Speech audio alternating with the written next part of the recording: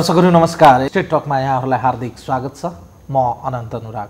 राजपा नेपालले दसैँ तिहारपछि आन्दोलन गर्न सक्ने सङ्केत गरेका छन्। सोमबार राजपाका अध्यक्ष मण्डलका सदस्यहरू प्रधानमन्त्री केपी शर्मा ओलीलाई ज्ञापन पत्र बुझाउँदै आफूहरूको माग पुरा नभए आफूहरूसँग गरिएको सहमति कार्यान्वयन नगरे समर्थन सरकारलाई दिएको समर्थन फिर्ता लिने धम्की दिएका छन्। प्रधानमन्त्रीज्यूले तिहारसम्म पर्खिनको लागि उहाँहरूलाई आग्रह गरेका छन्।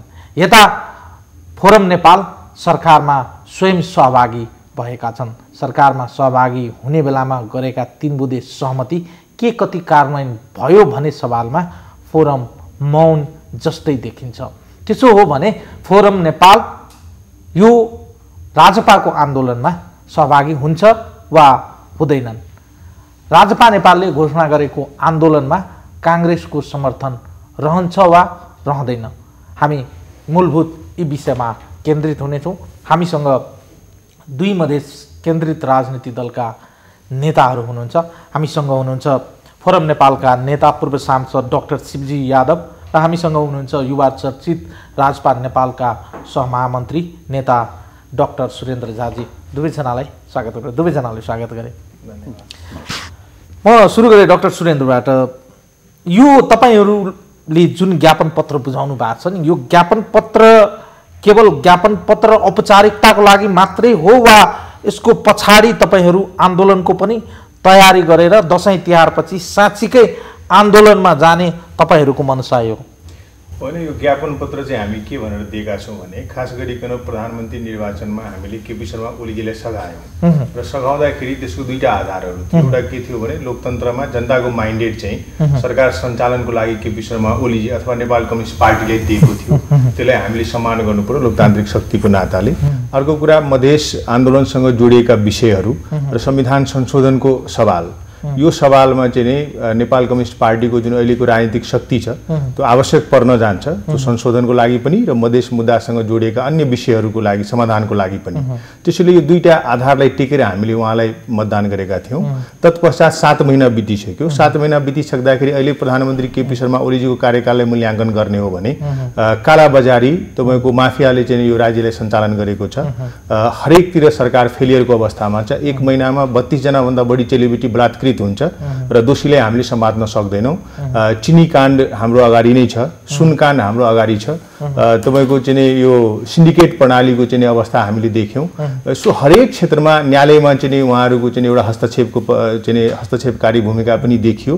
त्यसैले यो सरकार हरेक मोडामा चाहिँ फेलियरको अवस्थामा छ र यस्तो फेलियरको अवस्थामा जुन सरकारको नेतृत्व केपी शर्मा ओलीजीले गरिराख्नु भएको छ त्यसको साक्षी किनारा चाहिँ अब राजपा बस्न सक्ने कि नसक्ने भन्ने प्रश्न गम्भीर प्रश्न हाम्रो अगाडि खडा भएको छ। त्यसैले हामीले के अनुभूति भयो भने यो सरकारलाई यो प्रधानमन्त्रीले हामीले दिएको मत। अब त्यो मत चाहिँ दिएको हिसाबले उहाँ हाम्रो पनि प्रधानमन्त्री हो देशको पनि प्रधानमन्त्री हो तर हामीले समर्थन गरेको प्रधानमन्त्री। र यो प्रधानमन्त्री हरेक मोडामा चाहिँ असफलताको चाहिँ पगडी गुथेर बसेको छ। यो विशेष परिस्थितिमा चाहिँ हाम्रो मुद्दा जहाँको ती छ। हाम्रो जननिर्वाचित सांसद चाहिँ तपाईँको जेलमा छ। सरकारले त्यसलाई चुनाव लड्नलाई चाहिँ दिने रेशम चौधरीलाई तर प्रमाणपत्र नदिने। त्यस्तै तपाईँको चाहिँ मधेस आन्दोलनसँग जोडिएका मुद्दाहरू चाहिँ अहिले पनि बत्तिस चौ तेत्तिसजना नेताहरू हाम्रो जेलमै हुनुहुन्छ। मुद्दाहरू चलाएको चाहिँ मुद्दा खारिजी भएको छैन। विकलाङ्ग भएको चाहिँ घाइते भएकोलाई भरण पोषणको सवालमा पनि यो सरकार चाहिँ मौन रह्यो। त्यसैले यी विषयहरूमा संविधान संशोधनको त कुरा पढै जाओस्। अहिलेसम्म त्यसको विषयमा प्रधानमन्त्रीले एउटा देशलाई चाहिँ गम्भीर रूपले सम्बोधन गरेको अवस्था पनि रहेन।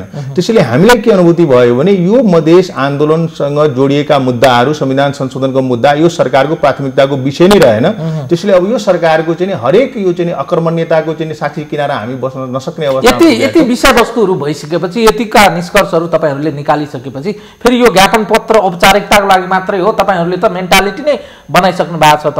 यो सरकारले दिएको समर्थन सरकारको गतिविधि सरकारले गरेका काम कारवाही सरकारले तपाईँहरूसँग गरेको सहमतिहरू कार्यान्वयन नगरिसकेपछि तपाईँहरू एक तरिकाले समर्थन फिर्ता लिया जस्तै त हो नि या अथवा अहिले पनि तपाईँहरू चाहिँ औपचारिकताको लागि मात्रै यो चाहिँ। होइन यसमा के भएको छ भने असोज तिन गते हामीले कालो दिवस मनायौँ। यो संविधान चाहिँ प्रोक्लेम गरेको दिन असोज तिन हाम्रो लागि चाहिँ नै अधिकार कटौतीको दिन हो। मधेसलाई ब्यारेकीकरण सै- सैनिकीकरण गरिएको दिन हो। हाम्रो चेलीबेटीलाई घर घरमा गसेर अ, चाहिँ घुसेर चाहिँ तपाईँको चाहिँ प्रताडन गरेको दिन हो। त्यसैले यसलाई हामीले कालो दिवस मनायौँ। त्यो दिनदेखि नै सरकारसँगको हाम्रो दूरी बढ्दै गएको छ। निश्चित रूपले बढ्दै गएको छ। खालि के मात्रै हो भने मैले अघि भने यहाँलाई कि यो सरकार अथवा नेपालको राजनीतिक शक्तिहरूलाई चाहिँ अलि अलिकति चाहिँ शक्ति चाहिँ हामीले आकलन गर्ने हो भने राष्ट्रिय जनता पार्टी नेपाल तेस्रो शक्ति हो। नेपाल कम्युनिस्ट पार्टी चाहिँ पहिलो शक्ति हो। संविधान संशोधनको सवालमा यो शक्तिहरूको बिचमा सहकार्यको खाँचो छ। त्यसैले यो जुन अहिले हामीले ज्ञापन पत्र बुझाएको छौँ, औपचारिक रूपमा समर्थन फिर्ता लिन घोषणा गर्न यसको यसको लागि डम्फु बजाइराख्नु पर्दैन दूरी हाम्रो बढ्दै गएको छ। र यो चाहिँ उहाँले प्रधानमन्त्रीले हामीले यो अन्तिम एउटा मौका स्वरूप उहाँले के भनेका छौँ भने तपाईँ यो विषयहरूमा गम्भीर हुनुहुन्छ भने यसको चाहिँ तपाईँले कार्यान्वयन गरेर यसको चाहिँ तपाईँको क्रियाकलापले त्यो कुरो देखिनु पर्यो। देखिएन भने चाहिँ हामी सडकमा जान्छौँ। हाम्रो जुन एउटा संसदबाट जुन लडाइँ छ त्यो संसदबाट लडाइँ लड्छौँ। त्यसपछि सडकमा पनि जान्छौँ। र प्रदेश नम्बर दुईको जुन सरकार छ जुन मधेसी चाहिँ जनताको आन्दोलनको चाहिँ बलमा खडा भएको सरकार हो। त्यो सरकारमा रहेर हामीले के कति गर्न सक्छौँ जनताको लागि त्यो चाहिँ हामीले सेवा दिने हो। तर हामी सङ्घर्षमा जानुपर्ने चाहिँ बाध्यता छ र विगतको सात महिनाको अनुभव हामीले के हेर्दैछौँ भने यो सरकारसँग चाहिँ हामी धेरै अपेक्षा गर्ने ठाउँ रहेन अब। अर्को कुरा यो सरकारको अकर्मण्यता असफलताको चाहिँ नि हिस्सेदारी पनि हामी किन भन्ने? किन हामीलाई पनि त जनताले प्रश्न गर्छ नि तपाईँले समर्थन किन दिएको यस्तो प्रधानमन्त्रीले जसले चाहिँ तपाईँहरूलाई पुग्नु भएको छ सरकार असफलताको बाटोमा अगाडि बढ्यो। यो त दुनियाँले थाहा भइसक्यो नि प्रधानमन्त्री युनाइटेड नेसन्समा सम्बोधन गर्न जानुहुन्छ। एयरपोर्टमा आउने बित्तिकै उहाँले पत्रकारले के भन्छ भने यो सरकार पाँच वर्ष चल्छ। यो सरकार पाँच वर्ष चल्छ कि पाँच दिन चल्छ भन्ने कुरा युनाइटेड नेसन्समा कसरी थाहा भयो उहाँलाई? उहाँले काम गरेर आउने भयो। युनाइटेड नेसन्समा उहाँले के भन्नुभयो नेपाली जनताको तर्फबाट? त्यो बोल्नु पर्ने हो नि उहाँले। त्यसैले यो सरकार असफलता छ भन्ने कुरो त प्रधानमन्त्रीको चिरचिराहटबाटै थाहा हुन्छ। प्रधानमन्त्रीले चार घन्टा लामो भाषण गरेपछि मेरो सरकारको यो चाहिँ मैले उपलब्धि हासिल गरेँ भनेर चाहिँ भन्न सक्ने अवस्था छैन। काम गर्ने हो भने त तपाईँको दुई मिनटमा सबै कुरो सिद्धिन्छ नि मैले यो गरेँ वेल यो गरेँ। तपाईँहरूसँगै तपाईँहरूकै सहकर्मी दल फोरम नेपाल सरकारमा हुनुहुन्छ। शिवजी डक्टर शिवजी बताइदिनुहोस् हामीलाई तपाईँहरू सरकारमा सहभागी हुनुहुन्छ। उहाँले यो सरकार असफलताको बाटोमा अगाडि बढिसकेको छ बताइरहँदा। तपाईँहरू पनि सरकारसँग तिन बुधे सहमति गरेर तपाईँका पार्टीको अध्यक्षज्यू नै सरकारमा सहभागी हुनुहुन्छ। अब यो असफल असफलताको बाटोमा अगाडि बढेको सरकारमा सहभागी भइरहने वा राजीनामा दिएर उहाँहरूको मोर्चामा अगाडि बढ्ने?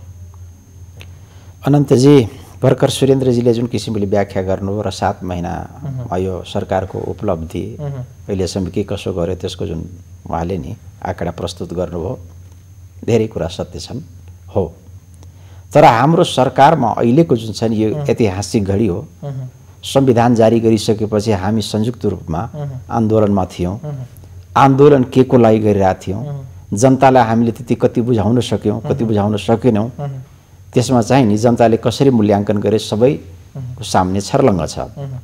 कम्तीमा अन्तिममा आएर हामीसँगै चुनाव लडेर आज दुई नम्बर प्रदेशको सरकार हामीसँगै बनाएर प्रादेशिक सरकार हामी बनाउन सफल भएका छौँ। र अहिलेसम्मको उपलब्धि जुन छ हाम्रो त्यो सरकार नै जुन छ त्यो हाम्रो उपलब्धि हो। केन्द्रमा हामी सरकारमा छौँ हामीले मूल्याङ्कन गऱ्यौँ हाम्रो पार्टीले गम्भीर छलफल गर्यो र अहिलेसम्मको हाम्रो जति सङ्घर्ष छ सङ्घीयताको लागि गणतन्त्रको लागि त्यसको लागि अब जुन किसिमले जनताले म्यान्डेट दिए त्यसको उचित ठाउँ अब यो सरकार जुन छ यो म्यान्डेट जुन पाएको छ त्यसको सदुपयोग गरेर सच्याउने हो। त्यसैको छलफल गरेर हामी तिन बुधे सहमति गरेर त्यहाँ पुग्यौँ। त्यसले गर्दा अहिले जुन किसिमले सुरेन्द्रजीले भन्नुभयो म उहाँको सबै कुरासँग सहमत छु सरकारले चाहिँ नि धेरै दैनिकी काम जुन गर्नुपर्ने हो सरकारले सबै काम धेरै कुरामा असफल हुँदै गएको छ। तर के ओलीजीलाई मात्रै दोष दिएर यो सरकार भने ओलीजी फेरिएला अर्कोजी आउला?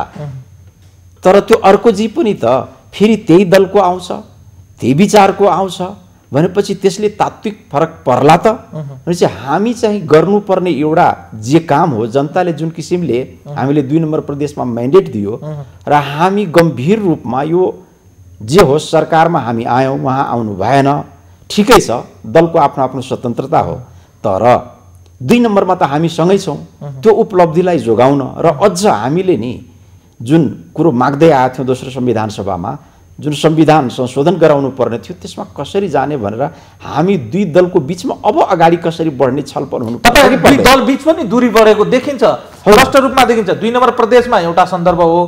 तर तपाईँसँगै सरकारको कुरा गर्दा त तपाईँहरूको अलग अलग चाहिँ तौर तरिका अलग अलग विचार अलग अलग चाहिँ दृष्टिकोण चाहिँ अहिले चाहिँ सतहमा छ। उहाँहरू आन्दोलनको तयारीमा लाग्नु भएको छ। तपाईँहरू सरकारमा बसेर सरकार सरकारी मोर्चामै बसेर आफ्ना मागहरू पुरा गराउँछौँ र जनताले भनेका जनताले दिएका म्यान्डेटको विषयमा चाहिँ हामी त्यही बाटोबाट अगाडि बढ्छौँ भनिरहँदा सात महिनाको दौरानमा तपाईँहरू बताइदिनुहोस् तिन बुधे सहमतिमा जे कुराहरू चाहिँ गर्नुभएको थियो संविधान संशोधनको स पनि अगाडि बढाएको छ।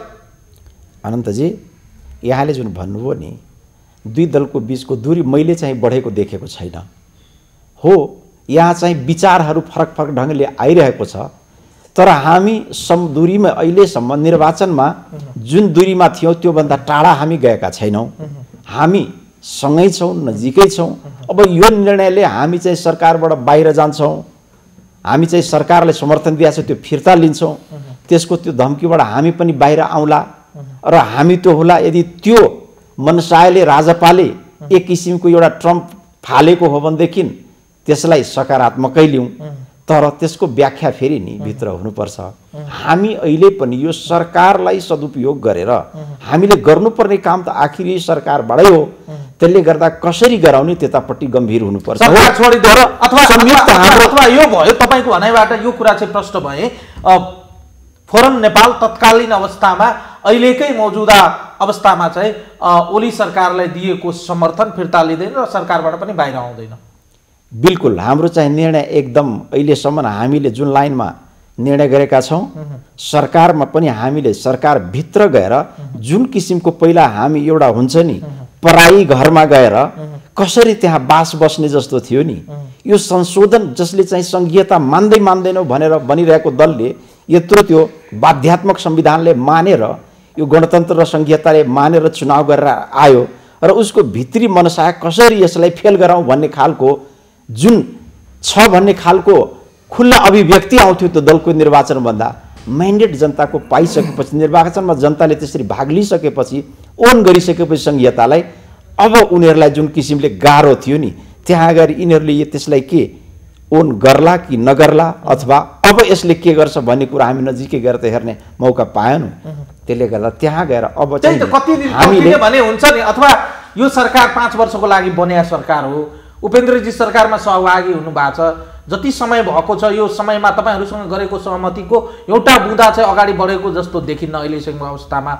यो सरकारमा कतिन्जेलसम्म तपाईँहरू पर्खेर बस्ने वा कतिन्जेलसम्म यो सरकारले काम गरेनन् भने हामी चाहिँ रियाक्सन पोलिटिक्स गर्ने वा रियाक्सन देखाउने भन्ने विषयमा केही निर्णय भएको छैन अथवा निर्वाचन अर्को निर्वाचन आउन दुई महिना बाँकी हुँदा चाहिँ सरकारबाट बाहिर निस्किने हाम्रो माग त पुरै भएन भनेर सत्ताको रस रस चाहिँ पाइराख्ने। अनि अन्त्यमा गएर चाहिँ भएन जनताले चाहिँ फेरि चाहिँ त्यही खाली हात चाहिँ जनतामा जाने। सत्ताको रस यहाँले जुन भन्नुहुन्छ नि सत्ताको रस भन्ने कुरो नि त्यो अब सत्ता भने त्यही जनताले दिएको म्यान्डेटलाई त्यो गरेर सत्ता भनेको त्यही त्यही त्यही आधारमा त्यही जमिनमा छ। त्यो जति रस लिए पनि आखिर त्यही जमिनमा हो। त्यसले दिने त फेरि त्यही जनतालाई हो। त्यो सत्ताको उपलब्धि त त्यही जनताले भोग्ने हो। यहाँले भनेको जस्तो हो हामी चाहिँ नि अहिले मुलुकी ऐन जुन छ त्यसको लागि ऐन कानुन जुन छ त्यस जुन हामीले मुलुकी के भन्छ त्यो ऊ बनायौँ यी सब कुरो जुन छ नि अहिले संविधान जारी गरिसकेपछि कानुन जुन बनाउनु पर्ने थियो र जसले चाहिँ सङ्घीयताको यो जरो जुन प्रदेश सरकार कमजोरै भए पनि त्यसलाई स्थापित गर्ने खालको नियम कानुन जुन बनाउनु पर्ने थियो त्यसमा जोड दिनुपर्ने भएकोले अहिले पहिलो फेजको एउटा काम चाहिँ भएको छ। त्यसपछि बाँकी कामहरू बाँकी नियम कानुन छिटोभन्दा छिटो बनाएर त्यसलाई थाहै गर्दै त्यसपछि त्यसलाई बलियो कसरी गर्ने त्यतापट्टि लाग्नु छ। छ अपना बनता त भाँडमे जाए जनता भने जस्तै त्यस्तै देखिन्छ दलहरूको शैली। बिल्कुलै होइन। बिल्कुलै होइन। यो चाहिँ गलत बुझाइ हो। यहाँले जुन भन्नुभएको छ नि त्यो गलत हो किन भनेदेखि नियम कानुन त्यो समय तोकिएको छ यति समय संविधान अनुसारको नियम कानुन बनेन भनेदेखि एउटा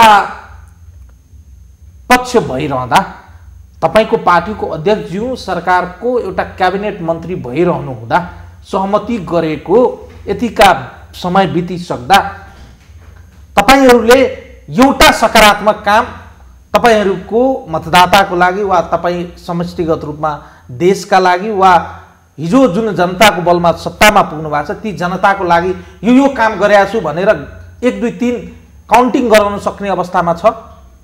मैले भने नि यो सङ्घीयता र गणतन्त्रलाई स्थापित गर्नलाई जुन जारी गरेको जे जति उपलब्धि कम्तीमा भएको छ यो देशमा त्यसलाई कम्तीमा डिरेल नहुन दिनलाई जुन स्टेप चाल्नुपर्ने थियो पहिलो खुड्किलो त हामीले पार गरेका छौँ नि। यो भदौ तिन गते भित्रमा जुन किसिमले तपाईँहरूको राजपा र फोरम बिचको जुन वैचारिक भिन्नता भनौँ वा वैचारिक चाहिँ तपाईँहरूको मतभेद छैन नि। एजेन्डामा त सेम सेम उस्तै हो नि होइन? बिल्कुल बिल्कुल। तर थट र बाटाहरू त फरक देखियो त। अब हेर्नुहोस् मलाई पहि दोस्रो संविधान सभामा यो कुरामा म कड्केर बोल्थेँ। तर आज परिस्थितिले कहाँ ल्याइदिएको छ भनेदेखि एमाले र माओवादी केन्द्र दुईटाको पनि त्यस्तै फरक थियो नि। तिनीहरू एक ठाउँमा हुन सक्ने हामी के त एक ठाउँमा हुन सक्दैनौँ र हामी पनि त एक ठाउँमा त्यसरी हुन सक्छौँ नि? किन हामीसँग त अब नजिर बनेको छ। कसैले यदि हामीले दोषारोपण गराउँछ गर्छ तपाईँको दलको यस्तो थियो र त्यस दलको त्यस्तो थियो भनेदेखि यो देश अहिलेसम्म हाकेर लगाएको यस्ता चाहिँ ठुल्ठुला हामी चाहिँ नजिक हुन सक्छौँ। तपाईँहरू एक्लै आन्दोलनमा जाने कि हिजोका दिनका सहकार्य गर्दै अगाडि गरेर आन्दोलन गर्नु भएको फोरम नेपाललाई पनि लिएर जाने? उहाँहरू त अहिले सरकारमा हुनुहुन्छ उहाँहरू तत्काल सरकार छोड्ने मेन्टा मेन्टालिटीमा हुनुहुन्न। अब हेर्नुहोस् यसमा अलिकति अलिकति मैले बोल्न पर्छ यो विषय गम्भीर छ। उहाँ डाक्टर साहबले धेरै कुरा भन्नुभएको छ।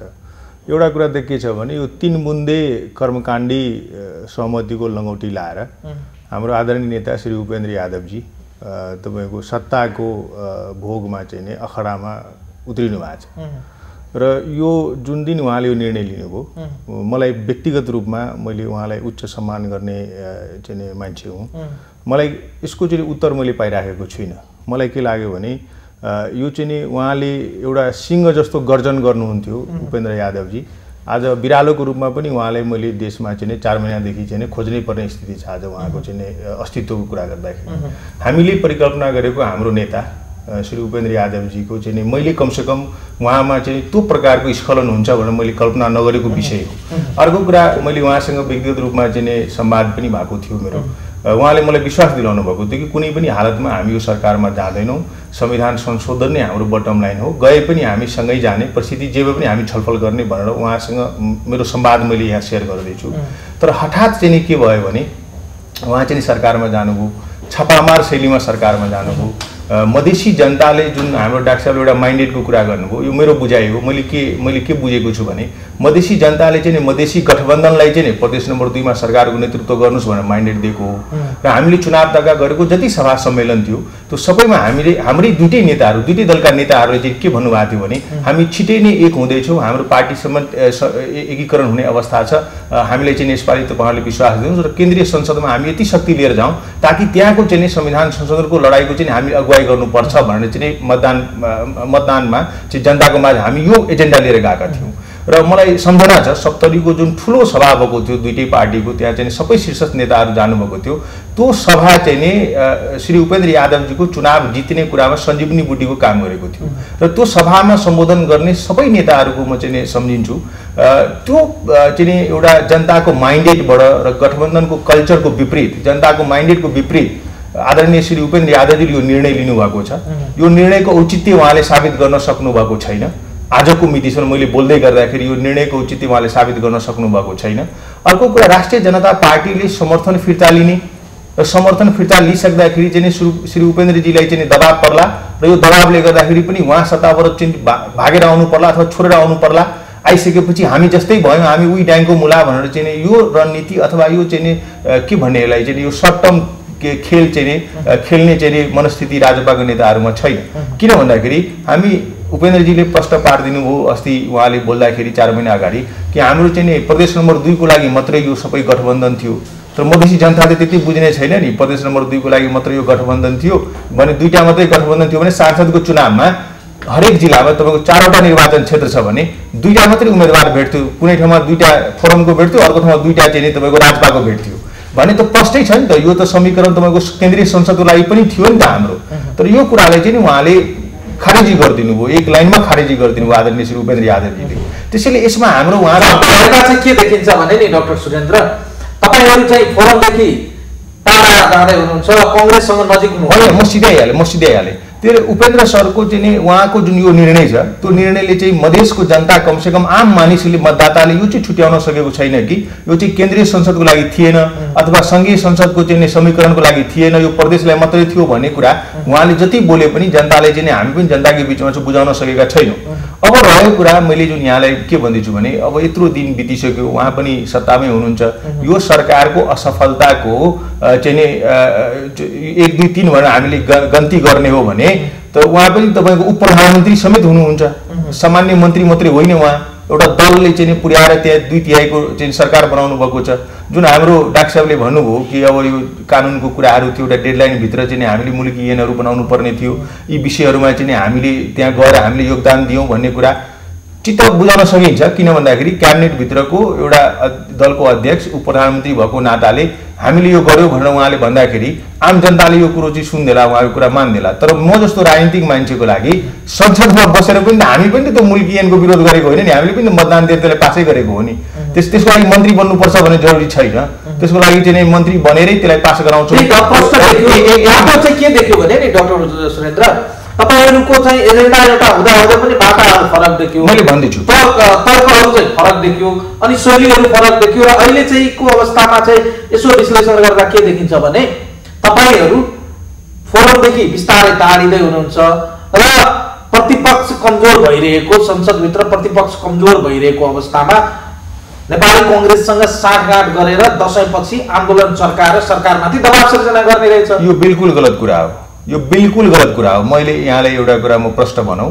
योभन्दा अगाडि गोविन्द केसीको अनसन कार्यक्रम सुरु भएको थियो। त्यसलाई चाहिँ नेपाली काङ्ग्रेसले त्यसलाई चाहिँ औन गर्यो कि यो चाहिँ ठिक छ यो आन्दोलनलाई चाहिँ हामीले अगुवाई गर्नुपर्छ भन्ने काङ्ग्रेसका नेताहरू त्यसमा गए पार्टी नै संस्थागत रूपले गए। तर राष्ट्रिय जनता पार्टी नेपाल आज संसदमा तेस्रो शक्ति हो। र हामीले यो देशमा जति राजनीतिक मुद्दाहरू छ अथवा अन्य मुद्दाहरूको सवालमा हामी स्वतन्त्र ढङ्गले आफ्नो विचार राखिराखेका छौँ। नेपाली काङ्ग्रेससँग जानुपर्ने कुनै आवश्यकता छैन राष्ट्रिय जनता पार्टी नेपाललाई। नेपाली काङ्ग्रेसले आफ्नो केन्द्रीय कार्य समितिबाट आफ्नो कार्य सम्पादन समितिबाट संसदीय दलबाट यो निर्णय गरोस् कि संविधान संशोधन मेरो पार्टीको प्रमुख एजेन्डा हो र संविधान संशोधनको लागि हामीले यो यो कार्यक्रम लिएर आउँदैछौँ भने कमसेकम तिन महिनाको कार्यक्रम घोषणा गरोस्। त्यो घोषणा गरिसक्दाखेरि चाहिँ नै हाम्रो एकता होला उहाँसँग सहकार्य हुन सक्ला संविधान संशोधनको सवालमा। त संविधान संशोधनको सवालमा त नेपाली काङ्ग्रेसले एक शब्द बोलेको छैन नि चु बोलेको छैन नि संसद घेराउ गरेको छैन नि यो हुनु पर्यो भनेर केपी शर्मा ओलीजीलाई भेट्न गएको छैन नि। त्यसैले नेपाली काङ्ग्रेससँग हामी नजिकिँदै छौँ भन्ने कुरा जुन यहाँले भन्नुभएको छ यो एकदमै यो कपोकल्पित र यो चाहिँ यो प्रचार गरेको मात्रै हो। अर्को कुरा मैले तपाईँलाई भन्दैछु आदरणीय श्री उपेन्द्र यादवजीसँग अथवा सङ्घीय गठबन्धन यो हाम्रो जुन यो मधेसी गठबन्धन छ त्यसमा हाम्रो अर्को पार्टी सङ्घीय समाजवादी फोरम। त्यो त्यहाँको चाहिँ अब ठिकै छ नेतृत्वमा एक दुईजना नेताहरूलाई यो लाभसाप भएको होला तर त्यहाँ ठुलो तबका छ जसलाई चाहिँ यो प्रश्न गरेर बसिरहेको छ श्री उपेन्द्र यादवजीको सामुन्ने कि तपाईँले लिएको निर्णय आज सार्थक भयो त? यदि भएन भने अब के गर्ने नेक्स्ट भनेर चाहिँ त्यहाँ पार्टीभित्र पनि यो चिजहरू चाहिँ सबै तमाम नेता कार्यकर्ताहरूले उठाइराख्नु भएको छ। त्यसैले सङ्घीय समाजवादी फोरम र राष्ट्रिय जनता पार्टी नेपाल एक ठाउँमा उभिनु पर्ने हाम्रो बाध्यता पनि हो र हाम्रो आवश्यकता पनि हो र हाम्रो चरित्र पनि मिल्छ संस्कार पनि तर मिल्छ। उहाँको कुरा तपाईँले यही कुरा लिएर गए र डक्टर सिंहजी बताइदिनुहोस् त्यसो भए उहाँले भन्नुभयो नि एकै ठाउँमा उभिनु दुइटै बाध्यता र आवश्यकता हो। कहिले चाहिँ यो आवश्यकता पुरा हुन्छ त्यसो भए? होइन उहाँले जो भन्नुभयो एकदम सही कुरो भन्नुभयो। त्यो आवश्यकता त एकदमै जनताले नि यस्तो किसिमले बुझाइदिया छ दललाई उहाँले अर्को पनि कुरा प्रश्न आउनुभयो। तपाईँको पार्टीभित्रै पनि उपेन्द्र यादवजी सरकारमा जानुभएको कुरा कतिपय म्याक्सिममलाई चाहिँ चित्त बुझिया छैन। होइन अब यस्ता कुरा अब उहाँले कहाँको व्यक्तिसँग कुरा गर्नुभयो त्यो चाहिँ उहाँको अब व्यक्तिगत कुनै अब नेतासँग अब इन्टरेक्सन भएका कुरा होला तर यहाँ पार्टीमा त्यस्तो कुनै त्यो छैन। पार्टी एक ढिक्का निर्णय गरेर त्यो सरकारमा गएको छ र अहिलेसम्म पार्टी पार्टीको निर्णय त्यो यथावत छ काम छ त्यसमा कुनै किसिमको दुविधा छैन। हामी अघि नै मैले भने नि हामी त अब झन् झन् क्लियर हुँदैछौँ। सरकारमा गएर हामीले सही गरेका छौँ। र सरकारबाट जुन किसिमले हामी यिनीहरूलाई दबाब दिइरहेका छौँ यो सङ्घीयता र गणतन्त्रलाई कुन पनि किसिमले खबरदार तिमीहरूले डिरेल गर्यो भनेदेखि त्यसको लागि हामी यहाँ चाहिँ होइन नि सरकारमा कुरा गराउन होइन। खबरदारी गर्न जानुभएको हो र। उपेन्द्र यादवजी मा- तिन बुधेमा त कहीँ पनि चाहिँ सरकारमा गएर माको बारेमा खबरदारी गराउँछौ भनेर लेखेका छैन संविधान संशोधन गराएर मधेसी जनताको माग पुरा गराउने भन्ने कुरा लेखेका छ त्यहाँ। एक्ज्याक्टली त्यही माग अघि नै जुन भने नि अघि नै मैले अब सानो मुलुकी ऐनको कुरा गरेका थिएँ त्यस्तै अब नागरिकताको सवालमा पनि अब कानुन छिटै अब संसदबाट त्यो पास हुन्छ जुन संविधान संशोधन हामीले माग्दै थियौँ धेरै कुरो त्यहाँबाट पनि नि आउँदैछ। त्यो पनि सरकारमै बसेको एउटा योगदान हो। त्यसले गर्दा हामी त्यहाँ गर्दैछौँ तर एउटा कुरो चाहिँ हामीले हेक्का के राखौँ भनेदेखि उहाँले जुन भन्नुभयो नि हामी दुईटा पार्टी एक ठाउँमा उभ्नुपर्ने आवश्यकता त्यही त चाहिँ। अहिले त तपाईँहरू दुई नदीका एक नदीका दुई किनारा हुनुहुन्छ। तपाईँ सरकारमा हुनुहुन्छ सरकार बाहिर हुनुहुन्छ उहाँहरू। बिल्कुलै छैनौँ हामी दुई किनारा छैनौँ। दुई पार्टीको बिचमा इन्टरेक्सन पनि छैन। हो यहाँ कमी तपाईँको कुरासँग शत प्रतिशत म सहमत छु। इन्टरेक्सन उहाँहरू आन्दोलनमा जाने कुरा गर्दै हुनुहुन्छ तपाईँहरू सरकारमा बस्ने कुरा एकदम। यो चाहिँ दुवै पार्टीको यसमा चाहिँ कमी कमजोरी छ त्यसमा चाहिँ म आफ्नो पार्टीको कमी कमजोरी म पार्टी अध्यक्षले राजपालाई चाहिँ पार्टी नै गर्नुहुन्न फेरि। तर राजपालले पनि यस्तो निर्णय गर्नुभन्दा पहिला के? त्यही त पार्टी अध्यक्षले नै राज्यपाललाई पार्टी नै गर्नुहुन्न क्लब गर्नुहुन्छ। होइन बिल्कुल त्यो चाहिँ त्यो त्यसरी चाहिँ नभनौँ उहाँले पनि राजपाललाई त्यस्तै किसिमको राजपालले पार्टी नगर्नेको भए दुईटा दलको बिचमा त्यो सम्झौता हो त्यही त। भाषण गर्ने बेलामा चाहिँ के खाएर भाषण गर्नु थाहा छैन। तर कतिपय सार्वजनिक मञ्चबाटै यो कुरा बाहिर आएको मैले व्यक्तिगत आरोप लगाएको होइन होइन यी सब कुरो निर्वाचन हुनुभन्दा पहिला धेरै तिता निर्वाचन पछि गइसकेपछि पनि यो कुराहरू चाहिँ कतै कार्यक्रममा सार्वजनिक कार्यक्रममा बोल्नु भएको छ उपेन्द्र यादव कार्यक्रममा बोल्नु भएको छ भनेदेखि त्यसमा चाहिँ नि त्यो कुरोको जवाब जनताले दिन्छ। किनभने यी सब कुरो जनताले मूल्याङ्कन गरेर एक ठाउँमा उभ्याइसकेको छ। जनताको मन उपेन्द्र यादवजीले एउटा सार्वजनिक कार्यक्रममा के गर्नुभयो भने मधेसी जनताको माग पुरा गर्न नदिने शक्ति मधेसी नेताहरू नै हुन् भनेर चाहिँ राजपामाथि कटाक्ष गर्नु भएको छ। यो कुरा त सबैले थाहा पाएको कुरा हो। अब कटाक्षका कुरा त मूल्याङ्कन जनताले गर्ला नि। कटाक्ष गरे यदि उहाँले गरेको कटाक्ष यदि कालान्तरमा जनताले मैले गरेको कटाक्ष सही रहेछ भने देखाइदिनु हो भनेदेखि जनताले छोड्ला। नत्र भने जनता त सम्झिराखेका हुन्छ नि। एउटा कुरो म तपाईँले के भनौँ भनेदेखि नि औपचारिक रूपमा घोषणा भएको होस् अथवा नहोस् तर इलेक्सनमा जुन किसिमले हामी संयुक्त रूपमा लडेर चुनावमा भाग लियौँ। तपाईँले यही कुरा गरिरहँदा मैले चाहिँ सुरेन्द्रजीको प्रश्नलाई सापट्टि लिएर तपाईँलाई राखेँ। रेशम चौधरीलाई शपथ ग्रहण नगराइरहँदा सरकारमा बसेर उपेन्द्र यादवजीले एक दिन पनि सार्वजनिक मञ्चबाट वा प्रधानमन्त्रीज्यूलाई रेशम चौधरीलाई शपथ ग्रहण गराउनु किन गर- नगराएको भनेर प्रश्न गर्नु भएको छ? होइन अब रेशम चौधरीजीलाई शपथ ग्रहण उहाँ चाहिँ अब जेल मुक्त हुनुभएको छ। उहाँलाई अब शपथ गराउनु पनि नियम कानुन त मैले भनिहालेँ धेरै कुरो चाहिँ नियम कानुन सुधार जुन गर्नुपर्ने अहिले छ संविधान जारी गरिसकेपछि कतिपय यस्ता कानुनी कुराहरू अडचनहरू जुन छ त्यो सरकारमा भएपछि ती सब सुधार गरेर त्यो छिटोभन्दा छिटो यदि त्यही नै टेक्निकल त्यो हो भनेदेखि त्यसलाई छिटोभन्दा छिटोले नि सुधार गरेर उहाँको शपथ गराएर भित्री रूपमा उहाँले के गर्नु भएको छ भने आम सरोकारको विषय भएन। तर आम रूपमा जनताको मूल्याङ्कनबाट हेर्दा चाहिँ अहिलेसम्म पनि राजपालले उठाएका कतिपय विषयवस्तुहरूमा फोरम नेपालको अध्यक्षको हैसियत हैसियतले र सरकारमा एउटा क्याबिनेट मन्त्री र उप प्रधानमन्त्रीको हैसियतले उपेन्द्र यादवको दायित्व बन्द थियो कि यी विषयवस्तुहरूमा आफ्ना विचारहरू राखुन्? तर काहीँ कतै पनि बोल्नु भएको छैन। होइन अब कुरो यहाँले जुन भन्नुभएको कुरो कुनै पनि कुरो विचार राखेर नि विचार राख्नुभन्दा पनि काम गर्नु चाहिँ नि त्यो बढी उपयुक्त हुन्छ। कुरो गरेर मात्रै हुँदैन। त्यसले गर्दा हामी गम्भीरतापूर्वक काम गरिरहेछौँ र म यहाँलाई के जानकारी गराउँ भनेदेखि जुन किसिमले यत्रो दिन ढिलै भए पनि रेशम चौधरी रिहा हुनुभयो र उहाँको शपथ ग्रहण पनि छिटै हुन्छ। उहाँ हाउसमा आउनुहुन्छ जुन किसिमले माग राख्नु भएको छ त्यो माग मलाई विश्वास छ पुरा हुन्छ। पहिल्यैदेखि हाम्रो मधेस आन्दोलनमा मुद्दा जुन लगाइएका जुन केही फिर्ता भए तर धेरै बाँकी छन् जुन सुरेन्द्रजीले भन्नुभयो ती कुराहरू पनि नि छलफल त्यसमा पनि त्यो पनि फिर्ता हुन्छ र मलाई जहाँसम्म लाग्छ फेरि एउटा चाहिँ उपयुक्त वातावरण बन्छ।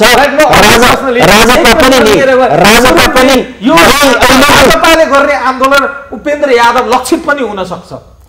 यो हेर्नुहोस् एउटा कुरा त के छ भने डाक्टर साहबले म एउटा स्मरण गराउन चाहन्छु। अन्तरिम संविधानलाई हामीले जलायौँ। उपेन्द्रजीले जलाउनु भन्नाले उहाँको नेतृत्वमा जलियो थुप्रैजना मान्छे थियो काठमाडौँमा। गिरफ्तारी हुँदाखेरिको दिन पनि चौधदेखि अठारजना मान्छेलाई गिरफ्तारी गरिएको थियो। भने त्यो उपेन्द्र यादव जसले अन्तरिम संविधानलाई जलाएर चाहिँ नि तपाईँको जेल जान्छ र त्यो उपेन्द्र यादव चाहिँ समग्र मधेसको चाहिँ नि मसिहा भएर चाहिँ नि उहाँ स्थापित हुनुहुन्छ र त्यसपछि यो देशमा संहिता आएको छ। भने त्यो संहिता ल्याउनलाई संहिताको चाहिँ प्रारूपलाई चाहिँ संस्थागत गर्नलाई त्यसलाई अगाडि बढाउनलाई मलाई लाग्दैन कि त्यसको लागि हामी मन्त्री बन्नुपर्छ। हामी यति कमजोर भएको छैन। कसैले हामीलाई थालमा सजाएर संहिता दिएको हो र मधेसले रगतको आहाल बगाएर संहिता ल्याएको छ र त्यो सङ्घर्षको नेतृत्व गर्ने पात्रहरूमध्ये एकजना श्री उपेन्द्र यादवजी पनि हुनुहुन्छ। त्यसैले हामी यति निरी भएर चाहिँ नि यो सबै उपलब्धि भयो यसलाई संस्थागत गर्नलाई म मन्त्री बन्नुपर्छ भन्ने तर्क चाहिँ नि मलाई कुतर्कै लाग्छ। यसमा चाहिँ हामी जानु हुँदैन। किन? उपेन्द्र यादव त्यो शक्तिको नेता हुनुहुन्छ जो चाहिँ नि यो देशको चाहिँ निर्णायक शक्ति मधेस हो। र त्यसको नेता उपेन्द्रजी हुनुहुन्छ। अरू पात्रहरू सँगसँगै उहाँ हुनुहुन्छ। भने त्यति विधि हामी निरीहता चाहिँ नि हामीले प्रदर्शन गर्नु हुँदैन नम्बर एक। यो आवश्यकै छैन। दोस्रो कुरा जुन रेशम चौधरीजीको बारेमा रेशम चौधरीजी रिहा हुनुभएको छैन जेलमा हुनुहुन्छ। उहाँको शपथ ग्रहण पनि भएको छैन। रेशम चौधरी मात्रै होइन। फरम पार्टीकै पनि सांसद प्रदेश सांसद हुनुहुन्छ। हामी चाहिँ थमन विगतको मुद्दामा चाहिँ तपाईँको चाहिँ चारजना जेलमा छ अन्य चाहिँ तपाईँको सोह्र सत्रजना नेतामाथि चाहिँ मुद्दा लगाइएको छ। त्यो फोरमको पनि त प्रदेश सभा सांसद त्यहाँ पनि हुनुहुन्छ। त्यो कैलालीमा म सम्झिन्छु चुनावभन्दा अगाडि ठुलो सभा भएको थियो। त्यो सभाको मञ्चमा आदरणीय श्री उपेन्द्र यादवजीले पनि बोल्नु भएको छ सम्बोधन गर्नुभएको थियो त्यो सभालाई। तिन बुद्धे सहमति उहाँले कर्मकाण्डी सहमति मैले त्यसलाई रति पनि मन पराएको छुइनँ। त्यो सहमतिमा त उहाँले यो मुद्दासँग जोडिएको मधेस मुद्दासँग जोडिने कुराहरू त्यहाँ उल्लेख गर्न सक्नु भएन उहाँ। कति हतार थियो उहाँलाई नि त्यो सरकारमा जानलाई। किन यति पनि निरी भएर जानुभयो जुन ढङ्गले उहाँले कुर्सीमा बसाइएको थियो त्यसप्रति पनि आम मधेसी जनताको आपत्ति भयो। म जस्तो मान्छेको पनि आपत्ति भयो। उहाँ हाम्रो नेता हुनुहुन्थ्यो त्यो परिस्थितिमा। राष्ट्रपति कार्यालयमा उहाँले कुर्सी समेत दिएन बस्नलाई। आज के यस्तो अब भयो? चाहिँ हाम्रो नेता यति निरी हुनुपर्ने कारण के हो? मेरो प्रश्न त्यहाँ मात्रै छ। अर्को कुरा मैले के भन्न चाहन्छु भने कि जुन भन्नुभयो नि राजपाले चाहिँ आन्दोलन गर्दाखेरि उपेन्द्रजीको लक्षित आन्दोलन हुन्छ भनेर भन्नुभयो नि लोकतान्त्रिक प्रक्रियामा पार्टी पद्धतिमा नेता हुन्छन् अध्यक्ष हुन्छन् आज जो अध्यक्ष हो अदावधिको हो फेरि त्यो अध्यक्षले राम्रो काम गरेन भने अर्को अध्यक्ष भन्छ कुनै एउटा नेताको चाहिँ तपाईँको चाहिँ नि गलत निर्णय अथवा चाहिँ नि कुनै प्रकारको चाहिँ नि उहाँमा चाहिँ नि त्यो त्यो विचलन आयो भने समग्र सङ्गठन नै खराब भन्ने परिस्थिति आउँदैन। त्यो सङ्गठनले फेरि अर्को नेता बनाउने हो। त्यसैले हामी नेता लक्षित आन्दोलन होइन हामी एजेन्डा लक्षित आन्दोलन गर्छौँ र त्यो आन्दोलन हामीलाई सम्झना छ। यो अस्ति त हामी त्रिसठी सालमा सङ्घर्ष गर्दाखेरि हामीसँग त पार्टी नै थिएन। अवस्था यस्तो थियो कि पार्टी नै थिएन। आज त हामी थुप्रै सांसद थुप्रै मन्त्री प्रदेश सरकार पनि चलाइराखेको छौँ हामीले। हिजोको दिनमा त हामीसँग केही पनि थिएन। तर पनि आन्दोलन सफल भयो तर पनि आन्दोलनको नेतृत्व आन्दोलन गर्छु भन्दा चाहिँ के हुँदो रहेछ भने नि मधेसवादी दलहरूले आन्दोलनको कुरा गर्दा सबैजनालाई चाहिँ विगतको चाहिँ त्यही आन्दोलनहरू सम्झना आउँछ। फेरि तपाईँहरूले नाकाबन्दी पो गर्ने हो कि भने झलझली सम्झना आउँदो रहेछ। तपाईँहरूले चाहिँ दसैँ तिहारपछि चाहिँ आन्दोलन गर्ने मेन्टालिटी बनाइरहँदा आम जनतालाई बताइदिनुहोस् आम जनतालाई स्पष्ट पार्नुहोस् तपाईँहरूको यो आन्दोलन विगतकै पुनरावृत्ति हुन्छ वा आन्दोलनको स्वरूप फरक हुन्छ वा पुनः फेरि तपाईँहरू चाहिँ बोर्डरमा गएर चाहिँ जनजीवनलाई चाहिँ अप्ठ्यारो पार्ने। होइन एउटा कुरा त के बुझ्नुहोस् भने मधेसले जहिले पनि शान्तिपूर्ण सङ्घर्षको अगुवाई गरेको छ। र यो देशमा जति राजनीतिक परिवर्तन भएको छ त्यो परिवर्तनको चाहिँ नि दिशा दिने काम चाहिँ मधेसले मात्रै गरेको छ। यो चाहिँ चाहे राणाकालको समाप्ति होस् चाहे पञ्चायतको चाहिँ अवसान होस् चाहे यो जनयुद्ध होस् चाहे तपाईँको अहिलेको गणतन्त्र आएको छ धर्मनिरपेक्षता आएको छ त्यसको अगुवाई चाहिँ मधेसले गरेको छ। त्यसैले हाम्रो सङ्घर्ष जहिले पनि शान्तिपूर्ण हुन्छ। हामी तपाईँको चाहिँ नि सीमा अवरुद्ध हामीले गऱ्यौँ। किन गऱ्यौँ भन्दाखेरि हाम्रो शान्तिपूर्ण सङ्घर्षलाई चाहिँ नि यो सरकारले नेपाल सरकारले बन्दुकको भरमा टाउको छातीमा गोली ठोक्दै हामीले सीमासम्म पुर्याएको। यो आन्दोलनलाई चाहिँ हिंसक बनाउने काम चाहिँ नेपालको राज्य संयन्त्रले गरेको। त्यसैले हाम्रो आन्दोलन भनेको मतलब के हो? लोकतन्त्रमा हामीले आफ्नो विचार राख्न पाउने कि नपाउने? हामी यो संसदभित्रकै शक्ति हौँ र यो संविधान सभाबाट जुन संविधान निर्माण भएको छ। त्यो आठ बुन्दे सम्झौता तपाईँको चौसठी सालमा श्री गिरिजा प्रसाद कोइरालाको नेतृत्वमा नेपाल सरकारसँग चाहिँ संयुक्त लोकतान्त्रिक मधेसी मोर्चाको नभएको भए यो देशमा संविधान सभाको निर्वाचनै हुँदैन थियो। र दुई दुईवटा संविधान सभामा हामी चाहिँ सक्रिय भएर यो संविधान निर्माणको हरेक प्रक्रियामा हामी योगदान दिएका छौँ। यो संविधानभित्रकै सत्य हो हामी। हामीले के मात्रै भनेको हो भने जुन अन्तरिम संविधानबाट चाहिँ प्रतिगमनमा गएर चाहिँ जुन संविधानमा केही बुन्दाहरू मिलेको छैन केही त्रुटिहरू भएको छ जसले चाहिँ मधेसी जनतालाई चाहिँ उपनिवेशीकरणको चाहिँ निरन्तरताको चाहिँ यो प्रयास हो र एउटा चाहिँ अलग साम्राज्य खडा गर्न खोजिएको छ एउटा जात शासकको जात खडा गर्न खोजिएको छ खस आर्य भन्ने यो शासक र सा शोषित भन्ने चाहिँ वातावरण जुन बनाउन खोजिएको छ यो चाहिँ गलत हो लोकतन्त्रमा। नेपाल अब अगाडि बढ्छ यो अगाडि बढ्नलाई यो विकृतिहरूलाई चाहिँ ठिकठाक पार्नु पऱ्यो यसले यसले कालजयी बनाउने हो भने यो संविधानलाई। यो संशोधनहरू चाहिँ हुनुपर्छ। यसमा चाहिँ सबैलाई थाहा भइसक्यो के के त्रुटि छ भन्ने कुरा मात्रै हो। र हामीले शान्तिपूर्ण सङ्घर्ष गर्छौँ जनताको माझमा जान्छौँ जनताले हामीले माइन्डेट दिएको छ। संसदमा पनि सङ्घर्ष गर्छौँ सडकमा पनि सङ्घर्ष गर्छौँ र जनताको माइन्डेटको अगाडि जसरी तपाईँको यो दुई तिहाईको धङधङी भएको सरकार गणितीय हिसाबले सर्वशक्तिमान सरकार भनेर आफूलाई चाहिँ नि प्रचार गर्यो आज यो सरकार हरेक मोडामा चाहिँ नि तपाईँको फेलियरको अवस्थामा छ। भने भोलि गएर त जनताले यो थाहा हुन्छ नि त यो बकमफुसे गफ गरेर राज्य चल्दैन भन्ने कुरा। त्यसैले हामी जनताको बिचमा जानु भनेको चाहिँ नि सशस्त्र सङ्घर्ष पनि यो आन्दोलन मधेसमा मात्रै हुन्छ कि अन्यत्र पनि हुन्छ? अन्यत्र पनि हुन्छ। सातवटा प्रदेश मध्ये अहिलेकै प्रदेशको संरचना मान्यो भने राष्ट्रिय जनता पार्टी नेपालको छवटा प्रदेशमा आफ्नो चाहिँ विङ्स छ कार्यकर्ता छ जन जनताको बिचमा हामी छौँ र कतिपय ठाउँमा हाम्रो आधार क्षेत्र चाहिँ नि मधेस हो। त्यसैले मधेसमा हामी एकदम सबल छौँ। अन्यतिर हामी कम छौँ। र अर्को कुरा मैले तपाईँलाई भन्दैछु यो पूर्वी पहाडमा पनि आन्दोलन सल्किएको छ पश्चिमी पहाडमा पनि आन्दोलन सर तपाईँको चाहिँ सल्किएको छ र यो जति आन्दोलनहरू भइराखेको छ त्यो सम्पूर्ण नेतृत्वहरूलाई चाहिँ एकत्रित गरेर उहाँहरूको विचार उहाँहरूको समस्यालाई चाहिँ संसदमा उठाउने काम चाहिँ राष्ट्रिय जनता पार्टी नेपालले गर्छ। हामी अन्त्यतिर आएर आइरहँदा क्लियर भाषा प्रयोग गरेर बताइदिनुहोस्। त्यसो हो भने दसैँ तिहार पछि तपाईँहरू औपचारिक रूपमा सरकारलाई दिएको समर्थन फिर्ता लिएर सिधै सडकमा जानुहुन्छ। निश्चित रूपले प्रधानमन्त्रीजीले जुन प्रतिबद्धता जाहेर गर्नुभएको छ संविधान संशोधनको सवालमा मधेस आन्दोलनसँग जोडिएको मुद्दाहरूको निरूपणको सवालमा यसमा चाहिँ उहाँले अगर स्थान लिनु भएन भने उहाँको चाहिँ यो असफलताको पगडी गुथेर हामीसँगै किन बस्ने यसको साक्षी किनार किन बस्ने? त्यसपछि हाम्रो आफ्नो बाटो हुन्छ नि त। हामी आफ्नो बाटोमा अगाडि बढ्छौँ। त्यो बाटो भनेको संसदमा आफ्नो कुरा राख्ने सडकमा जनताको माझ जाने प्रदेश नम्बर दुईमा हाम्रो सरकार छ स्थानीय तहमा हाम्रो जहाँ जहाँ नेतृत्व छ त्यो नेतृत्वले जनताले के दिन सक्छ त्यो आफ्नो काम चाहिँ हामी गरौँला। तर सँगसँगै संविधान संशोधनको एजेन्डाको चाहिँ जुन छ त्यसको अगुवाई चाहिँ राष्ट्रिय जनता पार्टी नेपालले गर्छ। र म चाहन्छु कि यो सङ्घर्षमा पुनर्लेखन हुनुपर्छ भन्ने नेता र त्यो पार्टीको चाहिँ शीर्षस्थ नेता श्री उपेन्द्र यादवजी पनि यसमा चाहिँ उहाँलाई पनि मानसिक प्रेसर होला। मलाई लाग्छ उहाँ नेता हुनुहुन्छ जनताको बिचबाट आउनुभएको छ आन्दोलनले बनेको नेता हो। उहाँले पनि यो आफूलाई चाहिँ पुनर्मूल्याङ्कन गर्नुहुन्छ र आफूले मूल्याङ्कन गरेर यो बाटोमा आउनुहुन्छ भने म पूर्ण विश्वस्त छु। डाक्टर शिवजी क्लियर पारिदिनुहोस्। अब उहाँहरू आन्दोलनमा जाने मनसाय बनाइसकेपछि फोरम नेपाल सरकारमा गएको विषयमा आफ्नो पार्टीभित्र र बाहिर चाहिँ पुनर्विचार गर्न सक्ने ठाउँ देख्नुहुन्छ तपाईँ? किन म चाहिँ अलिकति योभन्दा पनि उहाँले एउटा जुन कुरो यही सरकारको सम्बन्धमा भन्नुभयो नि। सरकारमा जाने कुरोमा चाहिँ नि यो काम र त्यो कामको लागि यो तर्कलाई कुतर्क जस्तो भन्नुभयो। सायद मलाई लाग्छ सरकारमै सङ्घीय समाजवादी भन्दा बढी समय राजपा नै बसेको छ। राजपा अहिले बनिसकेका जुन जुन पार्टी मिलेर बनाएका छन् तिनीहरू बसेका छन्। र यस्ता बेलामा बसेका छन् जतिखेर देशमा आगो बलिरहेको थियो सङ्घर्षको घडी थियो र ती दलहरूकै कारणले आखिर एउटा संविधान सभाबाट र उहाँहरूकै असहयोगले त्यतिखेर एक संविधान सभाबाट दोस्रो संविधान सभामा जानु पर्यो। म चाहिँ नि यो कुरो कोट्याउन चाहन्न धेरै। किनभने जे बितिसके ती तिता अनुभवबाट अब हामी अगाडि बढिसकेका छौँ। अब पनि हामी फेरि त्यसरी गऱ्यौँ र उहाँले जुन किसिमको अहिले बाटो समात्नु भएको छ त्यो बाटो गयो भनेदेखि फेरि पहिलो संविधान सभालाई डिरेल गरेर जुन किसिमले दोस्रो संविधान सभा लगेर बल्ल बल्ल हामीले संहिता र गणतन्त्र ल्यायौँ फेरि पनि उहाँहरू कहीँ गोटी नबन्नुहोस् म चाहिँ नि उहाँहरूलाई सद्बुद्धि आओस् अहिले पनि हामीसँग सहमति सल्लाह गरेर हामी सँगै बढौँ। हामी चाहिँ नेकपाबाट सिख लिउँ हामी एक ठाउँमा उभौँ र धेरै क्रान्तिकारिता देखाउनु पर्ने छैन। किनभनेदेखि उहाँले अर्काको। कुतर्क भन्नुभयो। अहिलेसम्म भनिदिनुहोस्। उहाँले त उहाँको के तर्क थियो? निर्वाचनमा भाग लिँदैन र हामी चाहिँ जित्छौँ। भोलि आएर उहाँ आउनु भएन निर्वाचनमा? उहाँहरूकै त त्यतिखेर पनि त कुतर्क देख्नु भएको थियो। कसको तर्क सही रह्यो? हाम्रो तर्क सही रह्यो नि त। उहाँ हामीसँग आउनुभयो नि त। त्यस्तै म विश्वस्त छु।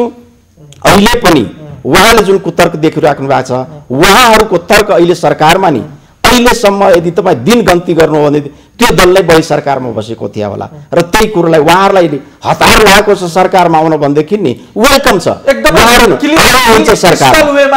क्रिस्टल वेमा चाहिँ भनिदिनुहोस् तपाईँ। उहाँहरूको आन्दोलनमा जानुभयो भने त्यसमा चाहिँ फोरम नेपालको न समर्थन रहन्छ न विरोध रहन्छ। उहाँहरू आन्दोलन घोषणा गरिसक्नु भएको छ उहाँहरूको निर्णय हो। उहाँको स्वतन्त्र हुनुहुन्छ तर म चाहिँ तपाईँलाई क्लियर भनौँ जनताले यो कुरो स्वीकार गर्दैन अहिले किनभने जनताले भन्छ तिमी यस एक्लै निर्णय गर्न पाउँदैनौ निर्णय गर्न हामीले तिमीलाई जोडिसकेका छौँ त्यसको खिलाफ तिमी जान्छौ भने त्यहाँ चाहिँ हामीले नि के गर्नुपर्छ निर्णय गर्छौँ न्याय गर्छौँ? प्रयोग गरौँ। अब यो जनताले जोडेको जुन जोड छ त्यसलाई कसैले तोड्न खोज्छ भनेदेखि त्यो जोड कहिले पनि टुट्दैन अन्तबाट टुट्छ। तर त्यो जोड चाहिँ टुट्नेवाला छैन। एकदमै एक लाइनमा भन्नुहोस् सुरेन्द्रजी। दोस्रो दोस्रो संविधान सभाको अनुभव चाहिँ डाक्टर साहबले सुनाउनु हो। त्यसबाट चाहिँ हामीले जुन भोग्नुपर्ने कामहरू हामीले भोगिसक्यौँ त्यसबाट जनताले हामीले जे जे गर्नुपर्ने सजाय दिनुपर्ने हामीले पाइसक्यौँ। जहाँसम्म उहाँले जुन जोड्ने काम छ, तोड्ने काम त हामीले गरेकै छैन। हामी गठबन्धनमै थियौँ। आज उहाँको सङ्घीय सरकारमा मन्त्रालय चलाइराख्नु भएको छ। तोड्ने काम कसले गर्यो भन्ने प्रश्न चाहिँ उहाँको नेतृत्वलाई हो। किन भन्दाखेरि हामी त सँगै थियौँ नि। अर्को कुरा आन्दोलन घोषणा भइसकेको छैन। आन्दोलन चाहिँ घोषणा हुँदाखेरि हाम्रो अहिले पनि एउटा कुरा चाहिँ मैले के भनौँ भने श्री उपेन्द्र यादवजी र राजपाको नेतृत्व बिचमा चाहिँ नि धेरै ठुलो खाल्डो छैन संवाद सहकार्य अन्तर संवादहरू भइराखेकै छ। त्यसैले यो तोड्ने काममा चाहिँ सबभन्दा अगाडि त श्री उपेन्द्र यादवजी जानुभयो नि। उहाँले नै यो तोडेर चाहिँ नि मन्त्री बन्नुभएको छ। हामीले त भन्दा पनि भन्नु भएन हामीले त यो भन्नुभयो कि म जाँदै जाँदिनँ भनेर भन्नुभयो। तर छापामार शैलीमा चाहिँ नि गयो को भन्दाखेरि जनताले त्यो पनि त देखिरहेको छ नि। त्यसैले यो अब आन्दोलन हुँदैन आन्दोलनमा जानु हुँदैन। अर्को कुरा कार्यक्रमहरू घोषणा भएको छैन। कार्यक्रमहरू घोषणा हुँदा सङ्घर्षमा जाँदाखेरि हामी आफ्नो दौतरी शक्तिहरू जोसँग हाम्रो विचार मिल्छ जोसँग हाम्रो सह सहकार्य हुनसक्छ त्योसँग हामी पत्राचार हुन्छ नि। लिम्बुबाङसँग मैले सहकार्य गर्न सक्छु भने। अन्तिम अन्तिम शब्द प्रयोग गरे म- अन्तिम शब्द प्रयोग गरे काङ्ग्रेससँग तपाईँहरूको सहकारी हुन्छ? एक शर्तमा संविधान संशोधन प्रमुख एजेन्डाको रूपमा काङ्ग्रेसले स्वीकार गर्यो र आफ्नो चाहिँ नि संसदीय दलबाट आफ्नो चाहिँ नि केन्द्रीय कार्य समितिबाट पास गर्यो भने मात्रै त्यसको सहकार्य हुन सक्छ। हस् त धन्यवाद। धन्यवाद। दर्शकहरू आजको लागि यति नै। सम्पूर्ण युनिटलाई मैले पनि बिदा दिनुहोस्। नमस्कार